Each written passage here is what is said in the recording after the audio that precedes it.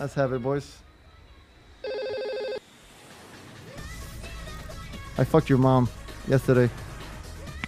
That's good. You didn't fuck anyone this game.